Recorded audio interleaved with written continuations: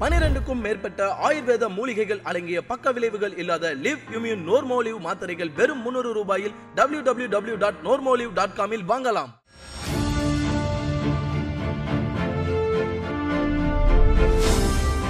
புறா பந்தயங்கள் சுமார் மூணாயிரம் ஆண்டுகளாக நடைபெற்று வருகின்றன. பந்தய புறாக்கள் என்று அழைக்கப்படும் இந்த ஹோமர் பீஜியன்ஸை எப்படி உருவாக்குகிறார்கள்? எவ்வாறு பயிற்சி அளிக்கிறார்கள்? நான் ராயபுரத்தில் இருந்திருக்கேன். ஒரு பதினஞ்சு வருஷமாக பேர்ட்ஸ் வளர்த்துக்கிட்டு இருக்கேன். இதில் ரேசிங்னு பார்த்தீங்கன்னா வந்து இந்த மூணு ப்ரீட் மட்டும் பண்ணுவோம். கர்ணப்புறா சாதா புறா அதுக்கு அடுத்தது பார்த்தீங்கன்னா இந்த ஹோமிங் பீஜன் சொல்லுவாங்க. தொலைதூர பந்தய புறாக்கள் சொல்லுவாங்க இதை. இந்த பேர்ட்ஸை நாங்கள் வச்சுக்கிட்டு இருக்கோம். சில பேர் விசில் வச்சு உள்ள ட்ராப் பண்ணுவாங்க. சில பேர் அப்படியே அதை வந்து தீனி போட்டு ட்ராப் பண்ணுவாங்க. டெய்லி எட்டு மணி தோந்து விடுவோம்னா ஒன்றரை ஹவரில் கரெக்டாக ட்ராப் ஆகிடும் புறாங்க எல்லா புறாங்களும். அந்த மாதிரி தான் ட்ரைனிங் நாங்கள் குத்தி வச்சிருக்கோம். அது சாப்பாட்டில் தண்ணியில் அந்த மாதிரி இது பண்ணோம்னா டைமிங்கு தான் இப்போ சாப்பாடு போடக்கூடாது. இப்போ திறந்து விட்றோன்னா சாப்பாடு உள்ளே தான் வைக்கணும். இப்போ வந்து சாதா புறா கர்ண புறா எடுத்தீங்கன்னா கெவுரு கம்பு இருந்தாலே போதும். அது உங்களோட எல்லாமே முடிஞ்சிடும் இப்போ ஓமர் புறாக்கு அப்படி இல்லை. ஒரு பன்னெண்டு வகையான தீனி போட்டால் தான் இதுங்க வந்து உடம்பு போடும். அந்த டிஸ்டன்ஸ் அந்த கெப்பாசிட்டி இருக்கும். பறக்கிற கெப்பாசிட்டி டிஸ்டன்ஸ் ட்ராவல் ஆகுதுல்ல. அதுக்கு பறக்கிற கெப்பாசிட்டி அப்போ தான் இது இந்த புறாக்களுக்கு இருக்கும். குதிரை பந்தயம் சேவல் சண்டை என பரிச்சயமான போட்டிகள் நமக்கு காலம் காலமாக தெரியும். ஆனால் பண்டைய காலத்திலிருந்து தூது செல்வதற்கு பயன்படுத்தி வந்த புறாவை வைத்து பந்தயம் என்பது கொஞ்சம் புதிதுதான். ஃபஸ்ட்டு வந்து செல்ஃப் இன்ட்ரெஸ்ட் ரொம்ப முக்கியம். இதை கத்துக்கிறதுக்கு நம்ம என்ன பண்ணணும் அப்படின்ற அடுத்த ஒரு கட்டத்துக்கு நம்மளை எடுத்துகிட்டு போகுது. அப்படி பார்க்கும்போது நம்ம கண்டிப்பாக ஒரு சீனியர் பர்சன்ஸை நம்ம கண்டிப்பாக தேடுவோம். அப்படிப்பட்ட ஒரு தேடுதல் தான் நம்மளுக்கு வந்து ஒரு நல்ல குருநாதர் அப்படின்றத நமக்கு அமைச்சு கொடுக்குது. மாறி படத்துல இருந்து தான் நிறைய பேர் அது ஒரு இன்ஸ்பிரேஷன் ஆகி நிறைய யங்ஸ்டர்ஸ் வந்து இந்த ஃபீல்டுக்குள்ளே வந்திருக்காங்க. அதுக்கப்புறம் பார்த்தீங்கன்னா நம்ம வெற்றிமாறன் சார் கூட எடுத்துக்கலாம். நல்ல அச்சீவ்மெண்ட் பண்ணியிருக்கா. இப்போ லேட்டஸ்ட்டாக வந்து விக்டோரியா ஃபால்ஸில் கூட தேர்ட் பிளேஸ் பண்ணார் பார்ட்னர்ஷிப்பில்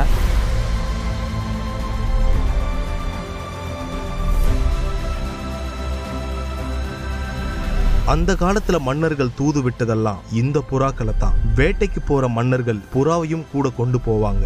நடு காட்டுல வேட்டையில இருக்கும்போது ஏதாவது உதவி தேவைப்பட்டா அதோட கால்ல ஒரு ஓலை கட்டி பறக்க விடுவாங்க. அது நேரா அரண்மனைக்கு போய் தகவல் சொல்லும். அதே டெக்னாலஜி தான் இன்னைக்கு வரைக்கும் போட்டிகள்ல தொடருது. இருபது வருஷம் முன்னாடிக்கும் இப்போ என்ன டிஃப்ரெண்ட் ரேஸ்ல என்ன டிஃப்ரெண்ட் அப்படின்னு பார்த்தீங்க அப்படின்னா ஃபர்ஸ்ட் வந்து நிறைய டெக்னாலஜிஸ் இருக்காது. இப்போ வந்து அப்படி கிடையாது. நிறைய டெக்னாலஜிஸ் வந்துருது. ஃபர்ஸ்ட்லாம் பாத்தீங்கன்னா வீட்டுக்கு கிளாக் வைஸ் கொடுத்து அனுப்புவாங்க. கிளாக் ஒரு பாக்ஸில் போட்டு கொடுத்து அனுப்புவாங்க.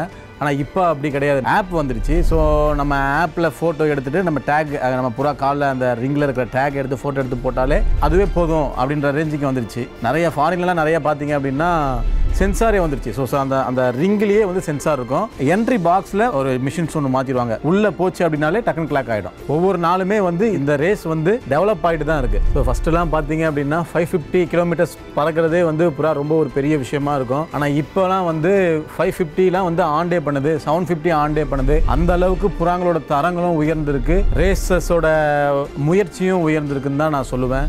இது போன்ற பந்தய புறாக்களை குஞ்சு பொரிச்ச சமயத்தில் இருந்தே எஜமானர் மட்டும் இறை போட்டு வளர்ப்பாங்க. எங்க கொண்டு போய் விட்டாலும் சரி தான் பிறந்த இடத்துக்கே மீண்டும் வந்து சேருமாம். இந்த ஹோமர் புறாக்கள். ஒவ்வொரு புறாக்களும் ஜெத பண்ணி அதை ப்ரீட் பண்ணி எடுக்கிற வடைங்கள்ல வந்து ரொம்ப ஒரு கஷ்டமான ப்ராசஸிங் இது. சாதாரணமாக வந்துடாது அதுக்கு முட்டை வச்சு அடகாத்து குஞ்சு பொறிச்சு அது வளர்ந்து அது பறந்து நம்ம வீட்டை வந்து அது இதுதான் நம்ம வீடுன்னு அந்த ஒரு மைண்ட் செட் வர்றது வந்து ரொம்ப ஒரு பெரிய ப்ராசஸிங் ரொம்ப கஷ்டமான ப்ராசஸிங் சிலது பார்த்தீங்கன்னா பொரியும் பொரியும் போதே இறந்துரும். முட்டையே வந்து கூடாது. இந்த மாதிரி ப்ராப்ளம்ஸ் நிறைய ஃபேன்சியர்ஸ் சந்திப்பாங்க. சில பேர்ட்ஸ் பார்த்தீங்கன்னா வளரும். வளரும் போது நிறைய டிசீஸ்னால அது அஃபெக்ட் ஆகி இறந்துரும். இந்த மாதிரியான பிரச்சனைகளையும் பிரான்சியஸ் சந்திப்பாங்க. ஸ்டார்டிங்கில் அது பழகும் போதே மிஸ் ஆகிடும் ஸோ இந்த மாதிரியான பிரச்ச- பிரச்சனைகள்லாம் சந்திப்பாங்க. அப்படி இதெல்லாம் தாண்டி தன் கூண்டில் நின்று அது அந்த ஃபேன்சியர்ஸ் கூட ஒரு நல்ல ஒரு ஃபிட் ஆகி அந்த ஒரு பாசத்தில் இணைஞ்சு அப்படிப்பட்ட புறாக்கள் வந்து ரேஸுக்கு அனுப்புவாங்க கடைசியில். அது நல்ல ஒரு பேரை சம்பாரிச்சு கொடுக்கும். அது மட்டும் இல்லாமல் இந்த ரேஸ் பண்ணும்போது பார்த்தீங்க அப்படின்னா நிறைய பிரச்சனைகள் இருக்கு. ஃபால்கன் ப்ராப்ளம்ஸ் இருக்கு. தண்ணி ப்ராப்ளம் இருக்கு. ரொம்ப கஷ்டப்பட்டு வளர்த்து இவ்வளவு அதுக்கு நம்ம பாசத்தை காட்டியும் நல்ல ஒரு ஃபீட் பண்ணியுமே ரேஸ் பண்ணும்போது வராமையும் போகலாம். ஸோ அந்த நாள் வந்து எங்களுக்கு ஒரு ரொம்ப துக்கமான நாளாக இருக்கும். எந்த புறா மேலே நம்பிக்கை வச்சு அந்த புறா வரலையோ ரொம்ப அது துக்கமான நாளாக இருக்கும் எங்களுக்கு அன்னைக்கு. அதே புறா எங்களுக்கு ஒரு நல்ல பேர் சம்பாதிச்சு குத்திருச்சுன்னா அது ரொம்ப சந்தோஷமான நாளாக இருக்கும்.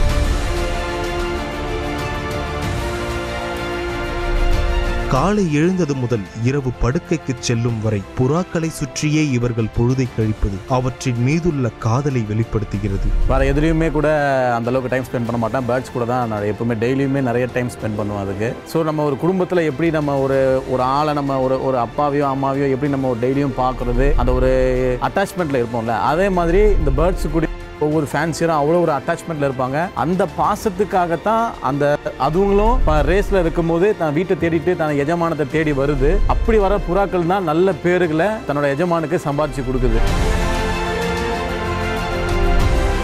பந்தய புறாக்கள் தொலைதூர பந்தய புறாக்கள்னாலே வளர்ப்பு முறைகள் தான் ரொம்ப மெயினாக இருக்கும். அதுக்கு தனியாக பரண் அமைக்கிறது அதுக்கு உணவு வழங்குறது அது மட்டும் இல்லாமல் சப்ளிமெண்ட்ரிஸ் கொடுக்குறோம். அந்தந்த காலநிலைக்கு ஏற்ற மாதிரி அதுக்கு தேவையான நோய் எதிர்ப்பு சக்தியும் கொடுக்குறாங்க. தான் கூண்டில் இருக்கிற ஒரு புறா தரமான புறாவாக இருக்கணும் அப்படின்ற ஒரு விஷயத்துக்காக அவங்க எதை செய்கிறதுக்கும் ரெடியாக இருக்காங்க.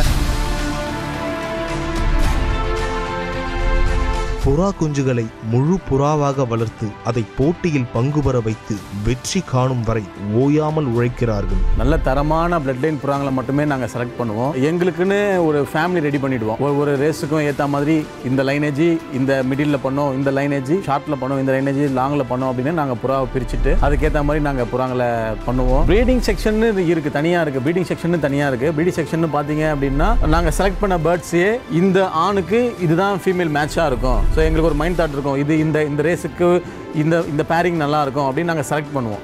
செலக்ட் பண்ணிட்டு நாங்கள் மேட்ச் பண்ணிவிட்டு அப்போ நாங்கள் அதுலேருந்து சிக்ஸை எடுத்து கரெக்டான அந்த ரேஸுக்கு முன்னாடி இப்போ எப்படி பார்த்தீங்கன்னா ஜனவரிக்கெலாம் வந்து எங்களுக்கு கிளப்பில் ரிங்கு கொடுக்க ஆரம்பிச்சிருவாங்க. ஜனவரியெலாம் நாங்கள் ப்ரீட் பண்ண ஸ்டார்ட் பண்ணிவிடுவோம் கரெக்டாக ஒரு எயிட் மந்த்து அந்த கம்ப்ளீட் பண்ண உடனே அதுலேருந்து நாங்கள் ஸ்டார்ட் பண்ண ஆரம்பிச்சிருவோம். நவம்பரில் எண்ட்லேருந்து எங்களுக்கு ரேஸ் ஸ்டார்ட் ஆகிடும் ஸோ நாங்கள் ரேஸுக்கு அதை ப்ராக்டிஸ் பண்ணுற மாதிரி போயிடும். அந்த அதை அதை அப்படியே ட்ரைனிங் கண்டினியூ பண்ணிவிடுவோம் ரேஸுக்கு பந்தயம். பணம் கௌரவம் இதை அனைத்தையும் தாண்டி புறாக்களை தங்கள் குடும்பத்தில் ஒருவராக பார்த்து பார்த்து வளர்க்கிறார்கள். யாருக்குமே எனக்கு தெரிஞ்சு மணி மைண்டட் கிடையாது கிடையாது அப்படின்னு தான் நான் சொல்லுவேன். ஏன்னா இது வந்து ஒவ்வொன்றுமே ஒவ்வொரு பொக்கிஷங்கள். என்னதான் வந்து குடும்பத்தில் பிரச்சனைகள் இருந்தாலுமே நம்ம அந்த லாஃப்ட்டுக்குள்ளே போகும்போதே அவங்க அதை எல்லாத்தையுமே மறந்துட்டு ஒரு சந்தோஷத்தோட அந்த ஒரு நிறைவோட அவங்க காலடி எடுத்து வச்சு உள்ளே போகிறத நம்ம ஃபீல் பண்ண முடியும். ஸோ இது மா வெளியிலேருந்து பார்க்குறவங்களுக்கு அது எப்படின்னு தெரியாது. ஆனால் எங்களை மாரி ஆளுங்க அதை அனுபவிச்சிருக்கோம். ஸோ ஸோ அதனால் ஒவ்வொரு ஃபேன்சியரோட மனநிலைமையிலேருந்து நான் பேசுகிறேன் ரொம்ப நல்ல ஒரு அனுபவம் இது. புறாக்களை இவர்கள் வெறும் பறவையாக பார்க்கவில்லை. தங்களுடன் பிறந்த இரத்த சொந்தங்களாகவே பார்க்கிறார்கள். இந்த ஹோமர் புறாக்கள் வட சென்னையின் மற்றுமொரு அடையாளம்.